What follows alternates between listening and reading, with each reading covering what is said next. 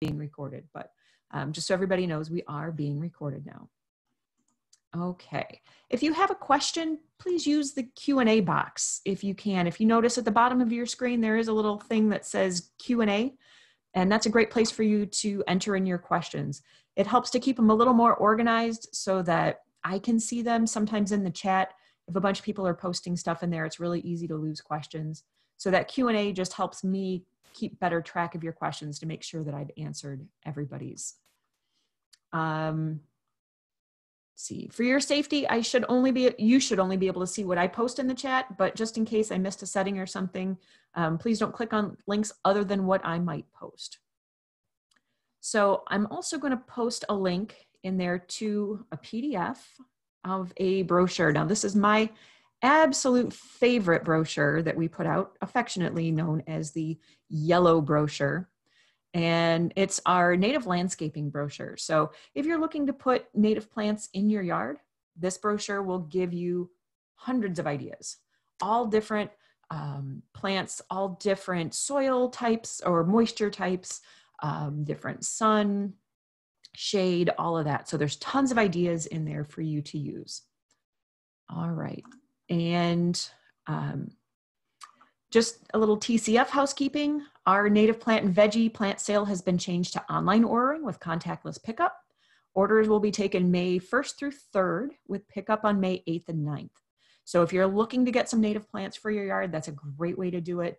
Place your order online, then you pull up at the McDonald farm and they'll load them up for you. So uh, it's a great way to get your hands on some native plants. But take a look at um, there's not going to be any browsing like we've done in the past, so it's all online ordering. Also, um, as you may or may not know, I've been doing these webinars every Monday and Thursday at one o'clock. So next week, our upcoming webinars, Monday, we have Why We Need a Nature Fix with a guest speaker. So Jan Rail from our office is going to be talking about what we call Nature RX. So that idea of why nature is good for us. So that's going to be a really good one. Um, I will throw that link in the chat as well so that you can join us on Monday. Boom, there's that one.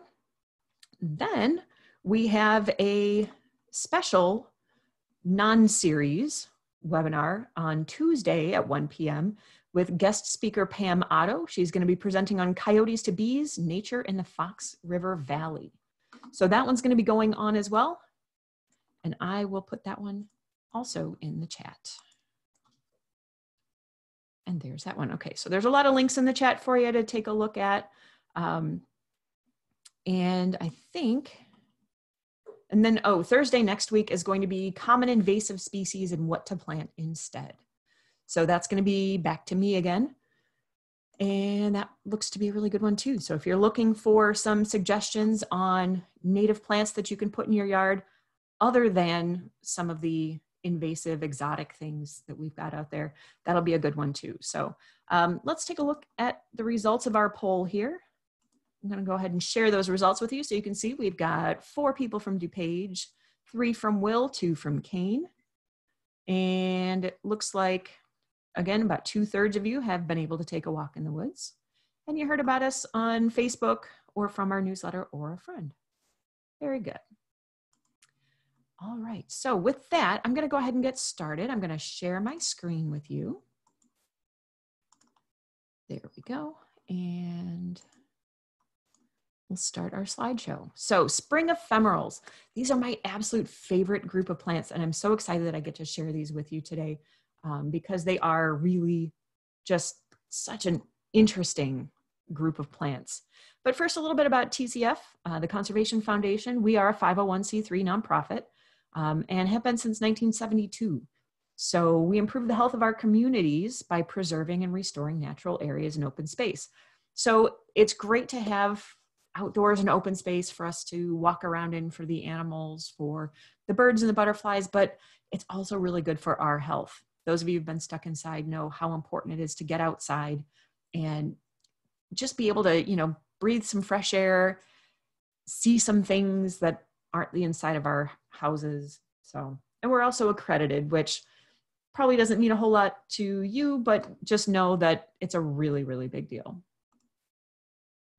So we have helped to preserve nearly 35,000 acres of land on 200 different parcels. So you can kind of see there, our main service areas are Kane, Kendall, DuPage, and Will counties, um, but we branch out into other counties as projects demand too. So um, we've got a lots going on out there. And preserving open space is really important because it helps to protect our water quality um, for the water that we drink. It improves our air quality, wildlife habitat, and it's really important to protect it for our kids and other future generations, just so that they have open spaces to play and places to get outside um, and, and get to see the same nature that we get to enjoy. All right, so moving right into it, what is a spring ephemeral? I know this is kind of a fancy, sciency sounding word, but basically it means this particular group of plants that grow in the early spring and flower and go through really their whole life cycle in the span of about a month in the early spring. Why do they do that? Well, because by and large, these plants live in the woods. So since we have deciduous forests here, the trees all lose their leaves over the winter and more sunlight can get down to the forest floor.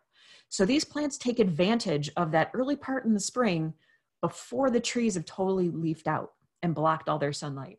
So while some of that sunlight is still getting down to the forest floor, these plants shoot up, they flower, they do their flowery plant thing, and then when by the time the canopy closes, they're kind of done. So you have this very narrow window in the spring to really get to enjoy these plants. Some of them stay green throughout the summer, some of them completely die back. So it all depends on what plant we're talking about. But that's generally the idea of these. It's this very short lived group of plants that come up in this very narrow window of time in the early spring. And this is that window. So if you have a chance to get out in the woods, these are some of the things you might be seeing out there right now. Um, I know I have Virginia bluebells in my yard. We'll talk about those in a minute. And those are coming up now. Mine haven't quite flowered yet. I've been seeing pictures of other people's who are just starting to flower. So, you know, this stuff is happening right now. So that's why these guys are so cool. So let's start. Got to start with one of my favorite, favorite native plants here, and that is wild ginger. Now I put the scientific name up there for you too, in case you're trying to find them at a nursery or something. So common names can get a little tricky because there are some plants that one common name, depending on where you're at, can refer to two or three different species. So to avoid that confusion, scientific names are very specific. So they're specific to one plant. So that way, when you're trying to find these things later, everybody's kind of on the same page there. So that's why I've given you the scientific name of the plant as well as the common names as I've learned them. Other people may have other common names. That's really cool too. So anyway, wild ginger is one of my absolute favorites. It's this really low growing plant with these great big heart shaped leaves. It's a great ground cover if you've got a woody area that you're looking to um, plant in and you want some kind of a low growing ground cover, it's my absolute favorite. So these beautiful heart shaped leaves with kind of the reddish looking stems. The flowers are super bizarre.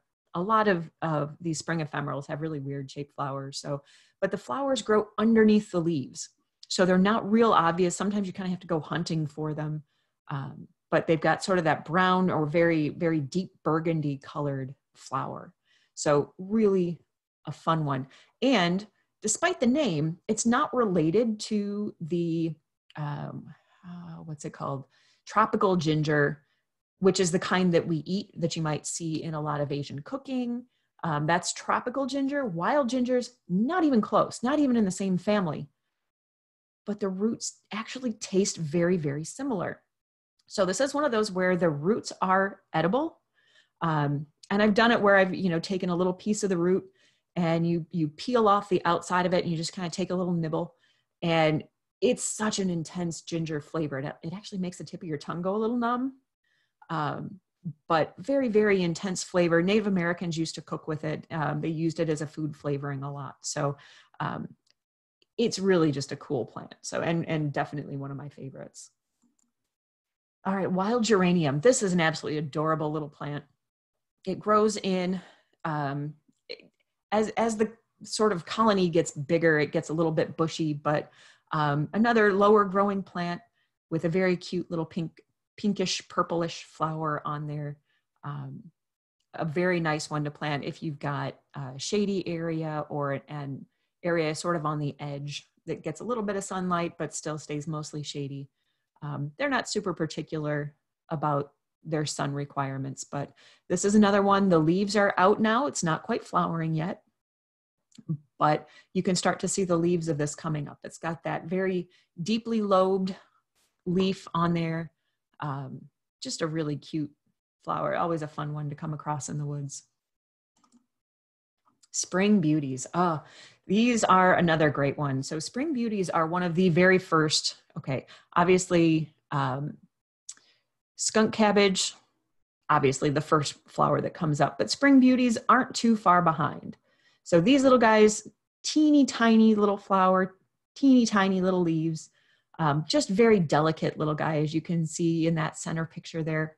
Um, one of the really cool things I find about the spring beauties, though, um, you know, we we know what we can see, but insects can actually see a wider range um, on the spectrum than we can. And so, what's not obvious to us on here is that these flowers are actually painted with stripes that we can't see.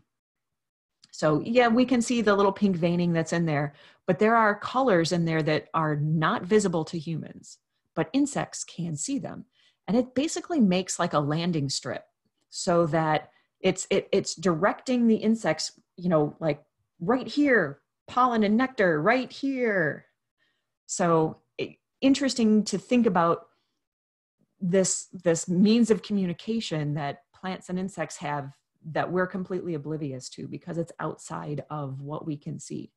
So and it, it, i mean it's like neon lights on there. If you, if you um, I, I've seen they've been able to take pictures of them and and adjust the lighting so that it brings those colors into a range that we can see. And it's like neon lights right here so very fun adorable little plant um, and i've seen these naturalized through people's yards which is kind of fun because then you get these little pops of color um, in the early spring as things are just starting to grow cutleaf toothwort this is another fun one. It, it looks kind of similar. Uh, the flower looks kind of similar anyway to Spring Beauties um, without that pink veining in them. Um, but the leaves are a little bit different. The leaves kind of remind me of just a like an even more deeply lobed uh, geranium. But these plants grow again fairly low growing. You know they don't get 12 inches tall generally, but they'll grow in like a little cluster as you can see in that photo on the right um, right in alongside spring beauties. And they'll grow right up through the leaves on the forest floor. So um, another really nice early spring plant. Um, interesting thing about toothwort.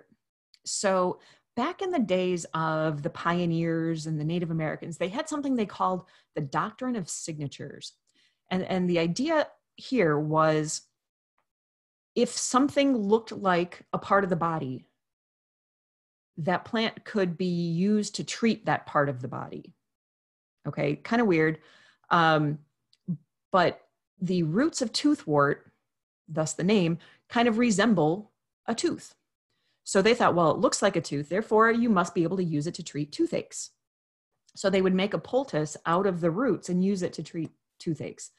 I don't know that it's ever anybody's ever been able to show that it really does help beyond um, you know the placebo effect or you know the alcohol that they were soaking it in anyway to you know was was actually what was helping um but that was the idea so that's where it got the name from toothwort was because it was used to treat toothaches because the roots resembled teeth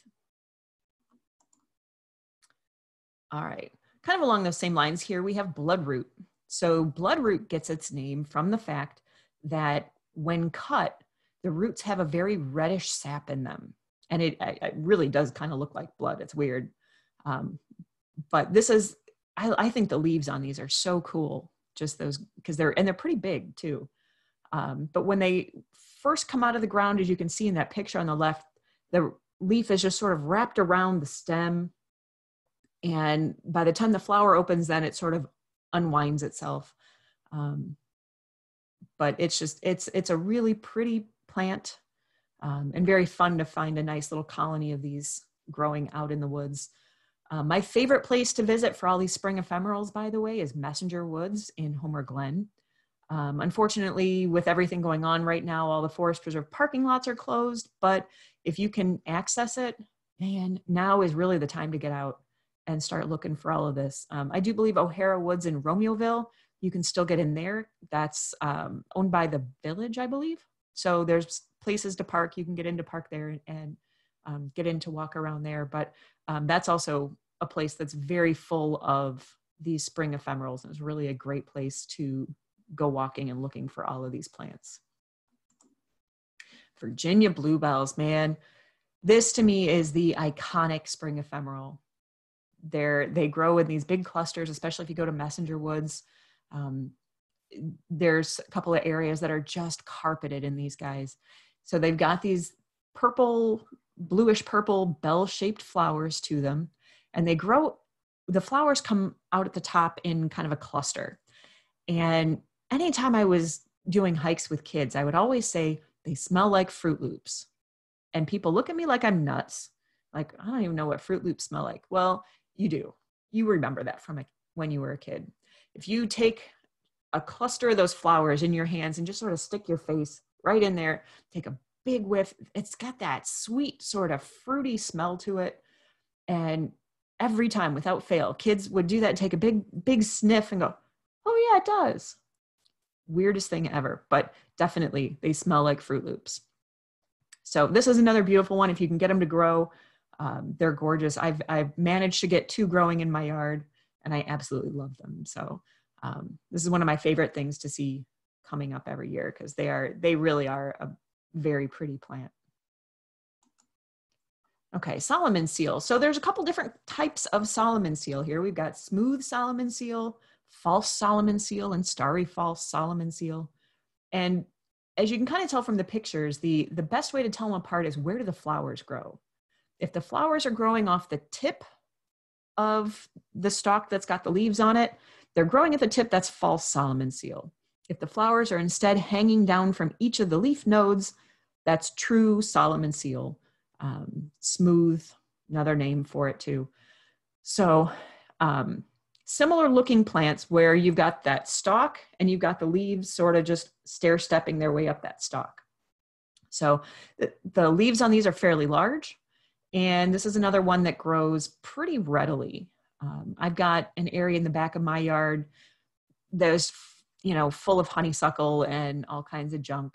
And I've been slowly clearing it out and without even me planting anything back there all of a sudden now i've got solomon seal growing up in there. I forget whether it's smooth or false but um, it, it's one of those that it will come back pretty readily when you clear areas. So um, fun fact about this one the name comes from the fact that if you take a cross section of I forget if it's the stem or the leaf um, it supposedly resembles the seal of solomon who's mentioned back in the Bible and historical records. So the royal seal that he used um, looks apparently very similar to the cross section of that. So that's where the name comes from, Solomon seal.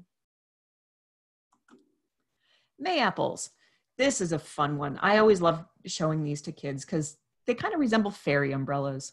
So these guys grow about a foot tall and they grow for at least two years. The first year they grow, there's only one leaf at the top. So it grows like one straight thing with this big leaf on top. And they look like umbrellas. So the kids always called them fairy umbrellas. So that's still how I refer to them today as little fairy umbrellas. Um, the second year, the stem top of the stem sort of splits, and now you've got two leaves, each one coming off one of that one of those splits. And then in the center, you get that little white flower that turns into a fruit. Now, supposedly that fruit is edible when it is ripe, but you got to get it at like just the right time. If you get it before it's ripe, it's poisonous or it doesn't taste good or super bitter or something. I don't know. Um, but apparently, it was frequently used to make jelly. Mayapple jelly is a big thing. Um, but this is another really sweet one. This is a clonal plant. So if you plant one or two, the next year you'll have two or four, and so on. So they'll pretty readily um, multiply. So I started a little patch in my yard, and it doesn't get out of control too bad, but um, they definitely will multiply and, and spread. Trout lilies. This is another really fun one. This is another one of the really early plants that comes up. We've got a couple different kinds around here, um, a, basically a white and a yellow. So trout lily, the name for this comes from the fact that the mottling on the leaves tends to resemble a trout's skin. Um, they've got a couple of other names for them too. There's a couple other common names out there for these. Um, they're escaping me at the moment. Um, I always learned them as trout lily, but um, yeah. So this is another one that comes up. Um, you'll see them in little clusters. They'll come right up through those leaves and um, put up their flowers real quickly, um, and then they're gone. So in a you know this is another one that's you know in the span of about a month, they're up, they flower, and then they disappear until next year. So um, I always liked finding these two. They're super, super pretty. Jack in the pulpit. This is an this is probably one of my favorite plants, only because of just how weird it looks. I love weird flowers. Um, so Jack in the pulpit has the leaves. It's got three leaves, and then it's got this is actually the flowering structure right here. So this little thing in the center is supposedly the Jack with the pulpit around him. And so you got Jack sitting up like this, and then that kind of thing just so sort of folded over the top of it. Um, really bizarre looking flower and can sometimes be mistaken for a pitcher plant. No, it really isn't. Um, the leaves are sometimes mistaken for trillium, again, just because there's three of them and they're fairly large. Um, but then after the flower, this is the fruiting body right here. So this this is the fruit of the jack in the pulpit plant. Almost looks like a I don't know, maybe a bizarre red ear of corn or something. But common to see and they come really late. They're not like right behind the flower like a lot of plants are. Um, they'll show up sometimes even closer to fall. You'll start to see them. Um, but related to Jack in the Pulpit is something called Green Dragon. It's the same genus, different species. This one has a lot more leaves to it, even though the leaves look kind of similar. The plant itself grow, looks kind of similar to Jack in the Pulpit. More leaves and in kind of that whorl. And then this is the dragon part. Where's my pointer? There it is. This is the dragon part right here. So it looks like you got the dragon's head with a long tongue sticking out of it. Another really cool plant to see out in the woods. Very uncommon. Um, I, I don't think it's endangered or anything, but it's just it's not a common one to see. So when you do see it, it's it's a real treat. Trillium. This is a family of plants that I just absolutely love. This is another one, um, Messenger Woods in Homer Glen, full of trillium. Um, the Trillium grandiflorum, large flower trillium, gorgeous, absolutely gorgeous plant. Huge flower on it. Um, trillium, the name comes from the fact that it has three leaves on it, so try. Um, but so they all have these three leaves, and then there's a red trillium or purple trillium, um, and then the white trillium or large flowered. Um, so lots of different species. I'll be real honest with you. I don't know how to tell the difference between recurvatum and sessile. And I just noticed that, thank you, uh, autocorrect, it capitalized things that I didn't want capitalized. Um, I don't know how to tell the difference between per, like purple and red, for example. Somebody told me one time, and I honestly don't remember. Um, they're really hard to tell apart. Um, the white trillium and the large flower trillium, obviously, large trillium, the flower is going to be about this big. White trillium, the flower is going to be about this big. So another one can be a little bit difficult to tell apart, but when you see the large flower, you, you'll know it. Um, and then also I mentioned the Trillium viride, which is the green flowered trillium. That is a state endangered plant. If you know where one is, let me know. I've never seen it in the wild. Um, but it, it's, it's supposedly here, but it is state endangered. So Trillium, very, very fun group of plants. Absolutely gorgeous. Um, they always flower right around Mother's Day. So um, I, I would always try to make a trip out to Messenger Woods to see these because there's just carpets of them everywhere. It's gorgeous. All right, Dutchman's Breeches. This is one that is blooming right about now. Um, I always love the leaves on this. They look so lacy and delicate and pretty. Um, and then you have the flowers on there, which is, like I said, a lot of these spring ephemeral flowers are just kind of weird looking. So they named obviously because they looked like the pants a Dutchman would wear, I guess. Um, but you know, they look like the little pants. Um, and it, it, again, there's a similar plant, has almost identical leaves to it. Um, and that's squirrel corn. You can kind of see the difference there between the two. Squirrel corn looks a little more heart shaped, whereas the Dutchman's breeches, you have like the two legs sticking out like this. Um, so I put that one in there just in case. I've only seen squirrel corn once out in the woods, and it was one of those where like, oh, it's Dutchman. Oh, no, it's not.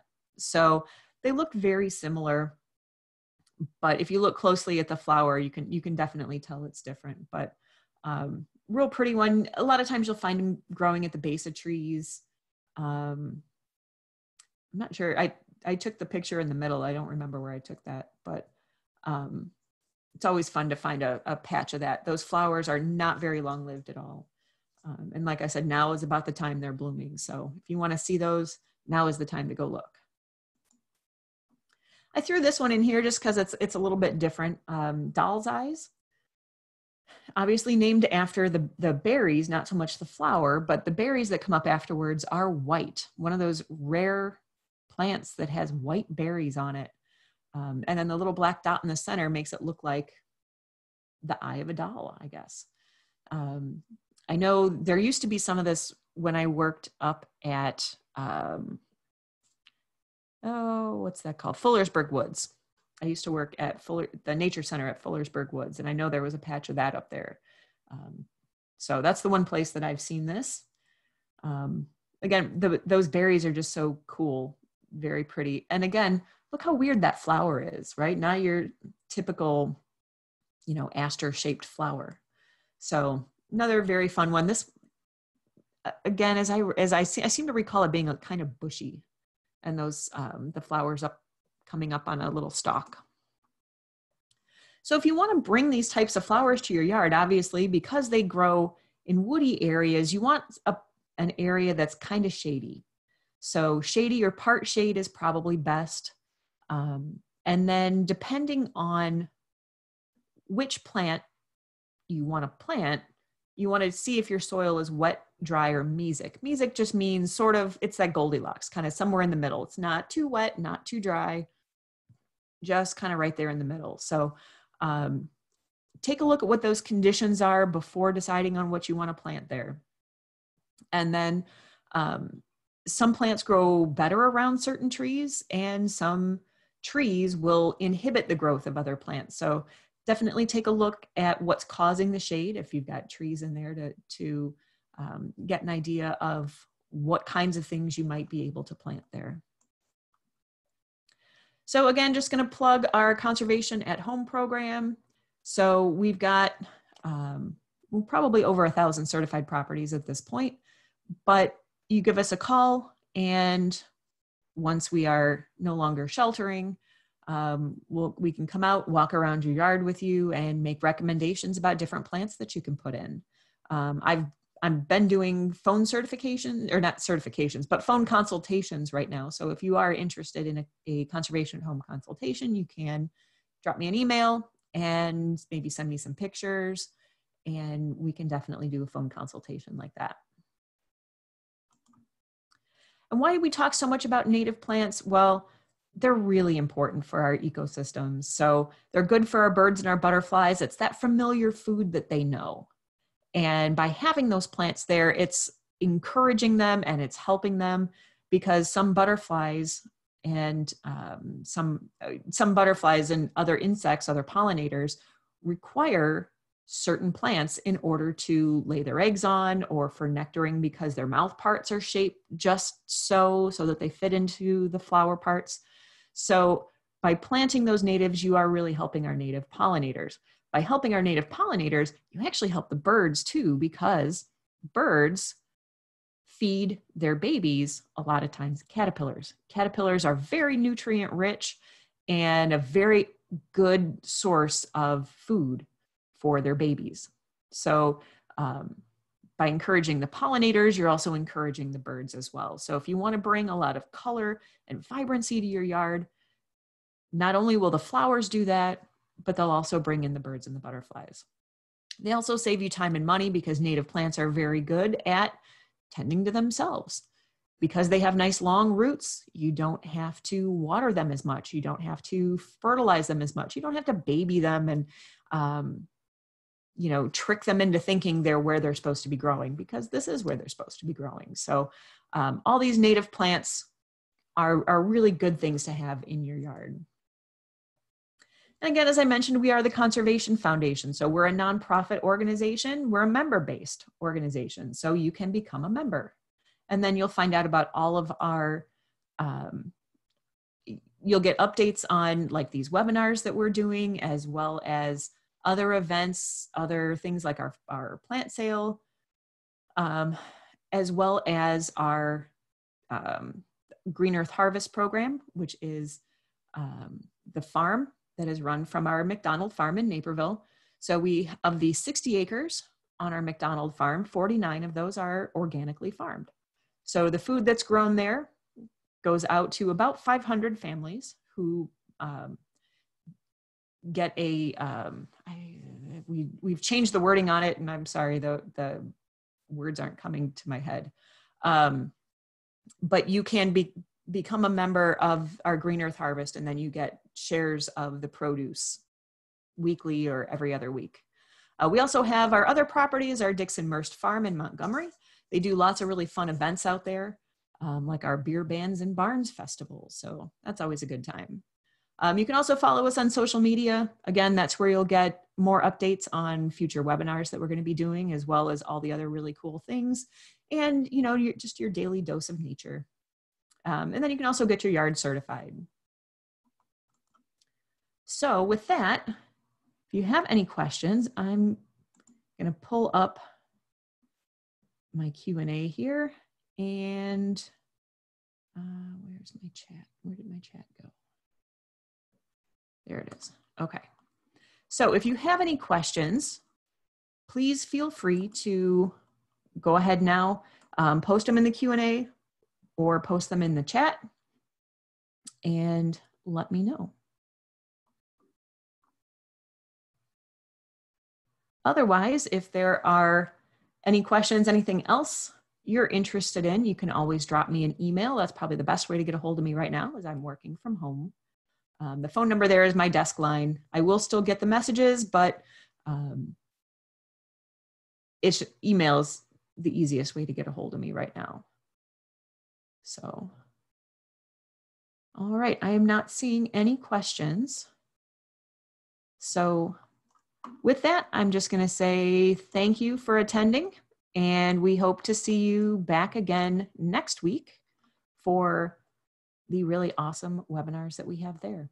And if there's any any other way I can help you, please don't hesitate to drop me a call or drop me an email.